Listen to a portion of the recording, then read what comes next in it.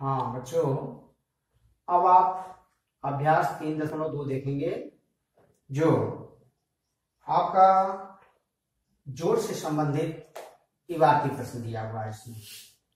इसके सारे सवाल जो हैं जोड़ से संबंधित इबारती प्रश्न हैं। जोड़ से संबंधित इबारती प्रश्नों को आप कैसे जानेंगे, इसके लिए आप ध्यान दें। जैसे, मान लीजिए आपको कोई सवाल ऐसा मिलता हो जिसमें आपको दे दिया जाए कि एक विद्यालय में उदाहरण दे रहा है आपको? मान लीजिए कोई सवाल है कि एक विद्यालय में तीन हज़ार चार सौ छब्बीस छात्र हैं। और दो हज़ार तीन सौ पचपन। छात्राएँ हैं। अब आपसे अगर उस सवाल में ये पूछा जाता है कि उस विद्यालय के कुल छात्र छात्राओं की संख्या बताइए तो ऐसी स्थिति में आप क्या करते हैं कि उस सवाल को दोनों की संख्याओं को जोड़ देते हैं। ये छात्र हैं, ये छात्राएँ हैं।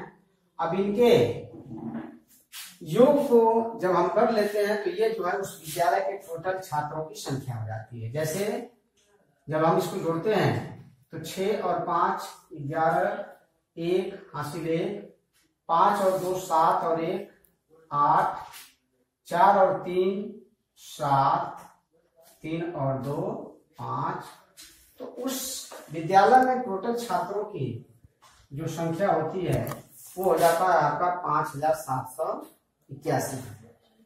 तो सबसे पहले आप ये जानेंगे कि जो जोड़ से संबंधित इबारती प्रश्न होते हैं, उस प्रश्न के अंत में ये आपसे पूछा जाएगा कि कुल कितना हुआ? उसमें, उस सवाल में आपको दो या तीन संख्याएँ मिलेंगी और लास्ट में ये पूछता है नहीं, कुल कितना हुआ? तो ऐसी स्थिति में आप जो है उसको जोड़ देंगे, जैसे अब हम किताब के आधार पे एक उदाहरण आपको दे रहे हैं, उसको समझ लीजिए। जैसे इसमें दिया है, चौथा सवाल,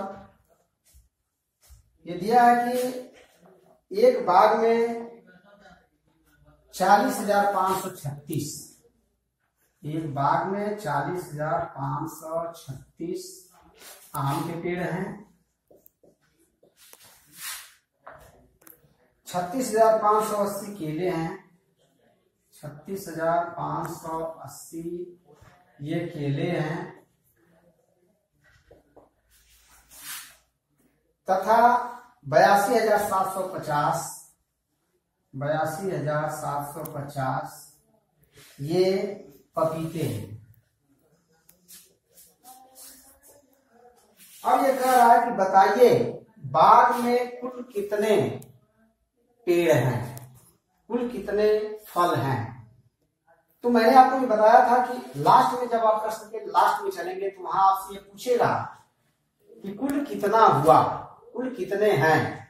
तो ऐसी ऐसी स्थिति में आप क्या करते हैं? उन सभी पौधों का योग कर देंगे। तो आपको टोटल संख्या मालूम हो जाएगी। इसको हम जोड़ देते हैं, ये हो जाता है आपका छ आठ और तीन, ग्यारह और पाँच, सोलह छ हासिल एक। पाँच पाँच, दस और सात, सत्रह और एक, अठारह को आठ, हासिल एक। छ और दो, आठ और एक, नौ। आठ, तीन, ग्यारह और चार, पंद्रह। ये जो है, उस बाग में कुल फलों की, कुल पेड़ों की संख्या हो जाती है। तो इसके लिए आपको मैंने दो उदाहरण बताया। अब कल जो है, आपका लेसन तीन दशमलव दो जो है, ये व्हाट्सएप पे आपके भेज दिया जाएगा और उसको आप खुद हल करेंगे। उसमें अगर किसी प्रकार की आपको दिक्कत आती है तो उसको आप बताइए और उसको फेयर कॉपी पर ही जो है एक तरफ़ से पूरा आप हल करेंगे। ठीक है।